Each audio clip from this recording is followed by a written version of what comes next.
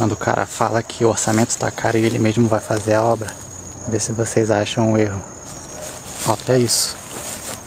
Olha esse alinhamento. Que coisa linda. Olha só, cara.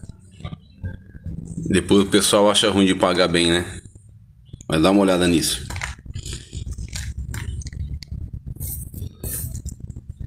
E vai para onde isso agora? Fala aí.